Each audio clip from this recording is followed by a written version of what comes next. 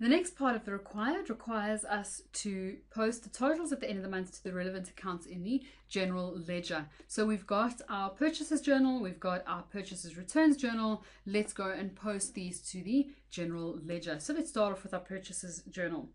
Again, we start off and we make sure that we get our numbering right, we make sure that we get our folios right and all the details so that if something goes wrong, your examiner always knows where to go back to to see what it is you're actually doing. So VAT input for us is going to be an item that goes into our statement of financial position. It reduces my VAT liability. So that is always going to get a B. And since this is the very first one I'm dealing with, it's going to be a B1. Purchases, on the other hand, is going to be a nominal account that gets an N1 that goes to our profit and loss, and your creditors control is also a liability, so that's a get gets a B2. So let's go put these in immediately. We've got 301 sorry, 301, 2150, and 2451. Let's go and build our general ledger. The first item and the first account I've got is my VAT input. And I said I was numbering that B1.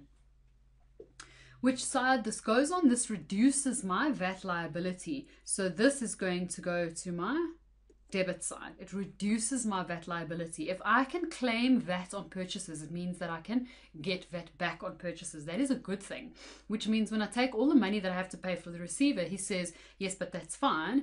I will take 14% of your sales, but I'm going to allow you to take all of your purchases off of that. So we debit that and make sure you understand that. It is at the end of the month, the 30th of November. It's going to come from our purchases journal one, and the amount here was 301, my VAT input. My next account was my purchases. Wow, it looks terrible. My purchase, my purchases was N1. Purchases is an expense, and expenses increase on the debit side. So we've got our expense here and again, creditors control is where the other side of this account goes. Uh, my purchase journal one and the amount there is 2150. The next account I need is my creditors control account to show how much I owe my creditors. And that's going to be called and named B two. And this is a liability. Liabilities increase on the credit side. So we have the 30th of November and we have purchases from PJ. PJ1 and the amount there is 2451. 301 plus 2150 is going to give me my 2451. So therefore my debits and credits balance. Again, just to make sure we're clear on this, all of these transactions could be done in the journals with a general journal, with a journal, which means the debits and the credits we'd be able to do without having to do a general ledger or without having to do a purchases journal. And if we take a look at that, what would it look like? Well, purchases are expenses, and the expenses increase on the debit side. So purchases, my 2150 would be my debit. My VAT input goes on exactly the same side as my purchases, and it decreases my VAT liability, and that is 301. And my creditors control is my liability. And liabilities increase on the credit side, to 451. So if we were to represent this with a journal, that is how it would look in a little bit better handwriting, but that is how it would look. And you see that our general ledger, the debits and credits of our general ledger has basically mirrored that. So when you're looking at these types of journals, it does help to try and think in debits and credits when you are looking at these items to make sure that you know what it is that you're doing. We have posted all of these. We have told them exactly which numbers. We've referenced everything. So we go to our purchases returns journal. VAT input, I already have an account for VAT input. So I have B1. Purchases re- returns I have not created yet, so I create N2 for that. And creditors control I already do have, so I can use the same account. So let's go and post those items. My VAT inputs If I am returning goods to my creditors, if I'm returning goods that I have purchased, it means that I won't be able to claim that VAT, which means it's going to increase my liability again, which means it goes on my credit side. So on the 30th of November, also goes to creditors control. This comes from my PRJ1 and the amount here was 42. Purchases I'm not using at this point in time. My creditors control is going to be decreasing. If I'm returning their goods to them, it means my liability is going to be decreasing. So this then is my purchase return. Also 30th of November because we're doing all of this on the last day at the end of the month once we've totaled everything. PRJ1 and the amount there 300 and oops, 42 rand the next account I need is my actual purchases returns account because I only have my purchases at this point in time. And this I said I'm numbering N2 because my only other profit account at the moment is N1. So my purchase returns decreases my expenses, which means I'm going to put that on the credit side.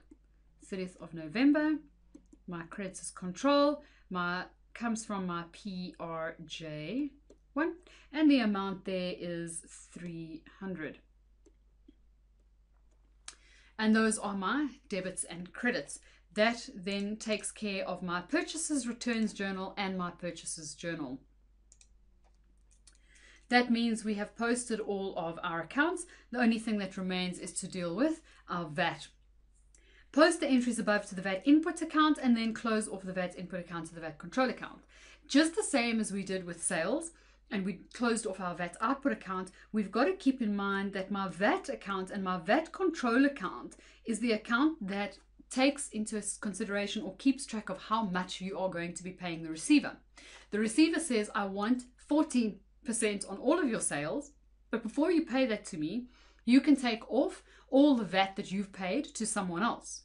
So all of your VAT on your purchases. So my VAT control represents all my VAT output less my VAT input.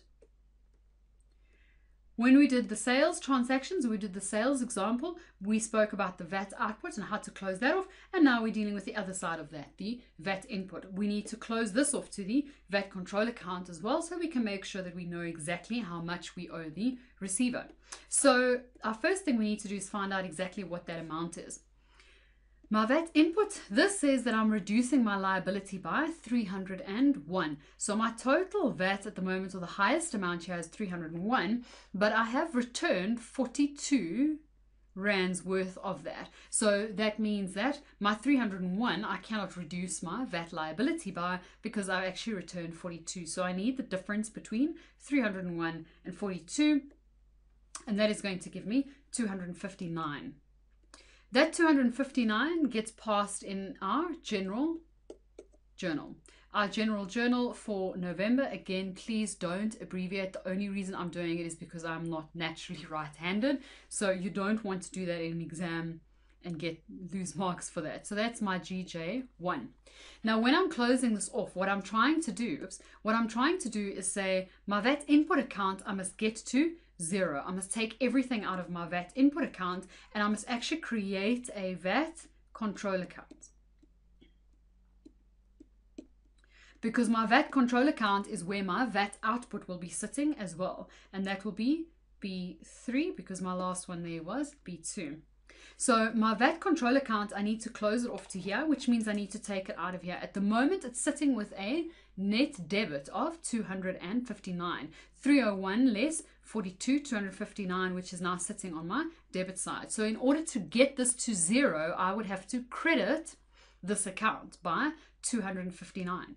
But I never post anything directly to my general ledger. Never ever get into that bad habit.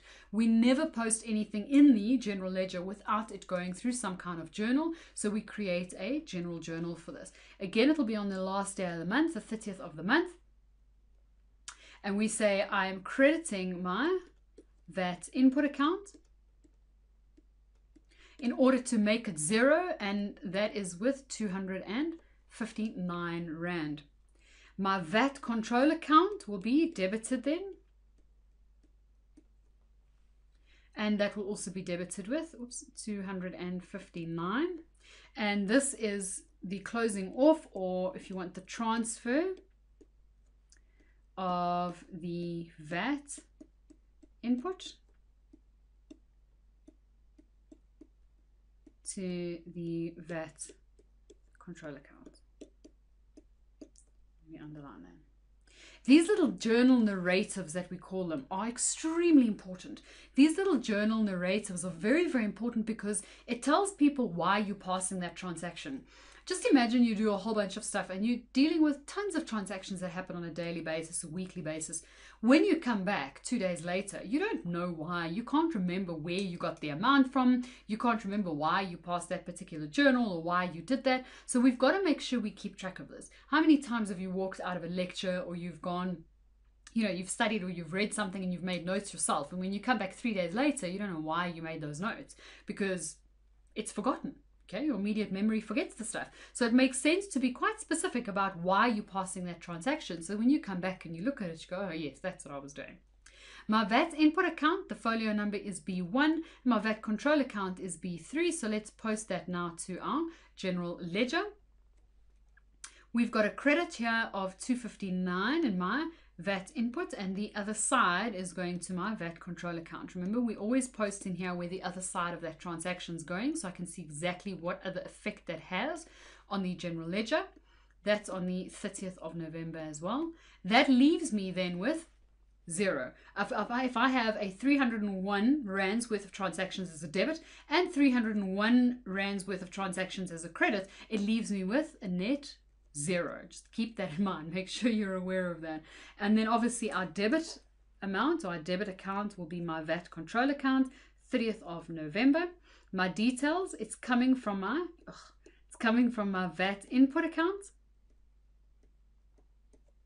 from my general journal 1 and the amount was 259 so we know then that the total that I can reduce my VAT amount of my VAT liability by is 259 in respect of the purchases that I have made. Again, if you want to make sure your debits and credits are sound, make sure you add up your debits and your credits in the general ledger and it'll give you an indication of whether or not your debits and your credits are right. So at this point, we've taken our VAT input completely out of this. So if we add up what's left, we've got 2751 and 2751 our debits and our credits balance. Whether you see this as completely a net zero or whether you add the 301 in there, it's going to change your amount here. But what's most important, we need to make sure that they balance. Your debits and your credits balance.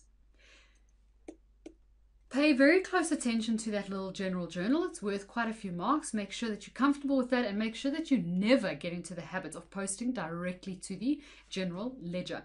It always has to go through a journal first. Make sure that you're comfortable with the details. Make sure you've tried this yourself. I have given you a printed solution so you can take a look at it and make sure that your stuff is right. And obviously the, the handwriting is a little bit more, the amounts in the handwriting is a little more legible in this one. But make sure that you're comfortable with your purchases journal as well as your purchases returns journal in terms of how you deal with that.